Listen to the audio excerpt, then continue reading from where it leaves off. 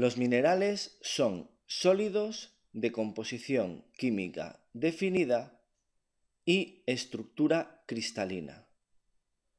Esto quiere decir que sus átomos están ordenados en las tres dimensiones del espacio siguiendo un patrón.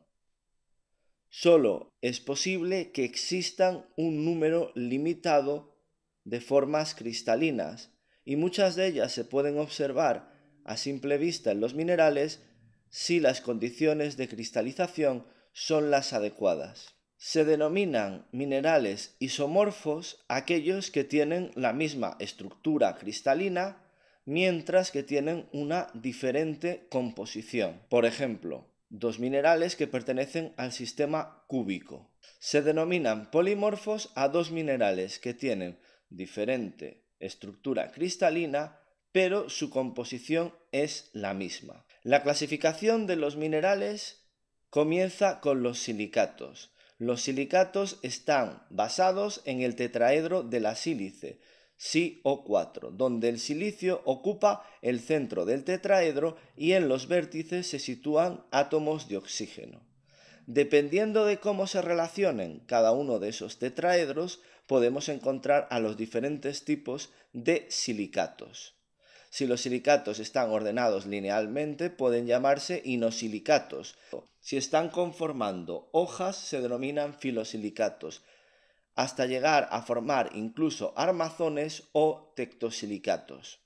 Los silicatos constituyen la mayoría de los minerales que nos encontramos en la Tierra. Luego están los no silicatos, que se dividen en tres tipos. Los elementos nativos, constituidos generalmente por metales. Oro, cobre, plata o azufre son ejemplos de elementos nativos. Luego están los óxidos e hidróxidos. Un ejemplo de este tipo sería la goetita, que es un oxidróxido de hierro. Y por último están las sales simples y complejas. El ejemplo más típico es la sal común o alita, pero también están dentro de este grupo las sales complejas como fosfatos, sulfatos o carbonatos. Las características de los minerales nos permiten realizar su clasificación a través de las propiedades físicas y químicas que tienen. Esas propiedades dependen de su composición y estructura química. El hábito es la forma cristalográfica que se observa en el mineral.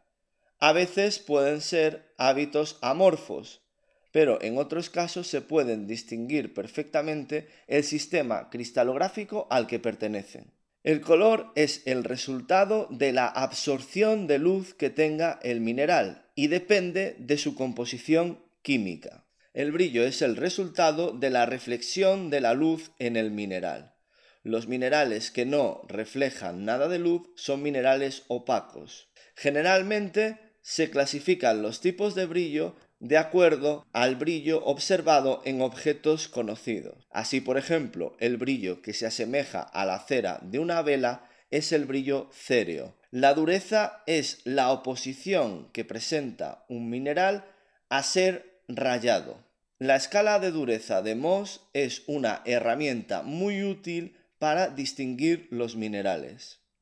Se basa en 10 minerales conocidos que se pueden rayar con objetos cotidianos. El mineral más blando es el talco, luego vendría el yeso, la calcita, la fluorita, el apatito, la ortosa, el cuarzo, el topacio, el corindón y el diamante, que tiene dureza 10 y no puede ser rayado. Para comprobar la dureza de un mineral se utiliza la uña, una moneda de cobre, un cuchillo o un clavo de acero. La raya es el color que aparece en una superficie dura cuando se raya con un mineral. Se utiliza en superficies de color oscuro para comprobar si la raya es clara y superficies de color claro para comprobar si la raya es oscura.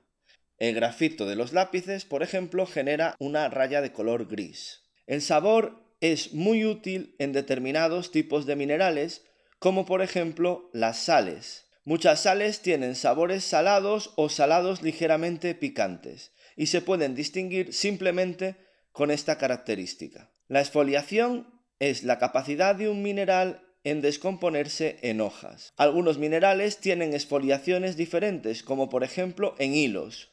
Otra característica observable fácilmente en un laboratorio es la reacción del mineral al ácido clorhídrico. Los minerales que tienen carbonato dentro de su composición química reaccionan al ácido clorhídrico de forma efervescente liberando burbujas de dióxido de carbono. También es muy útil tener un imán para comprobar el magnetismo de los minerales. Los minerales que poseen mucho hierro dentro de su composición suelen ser magnéticos.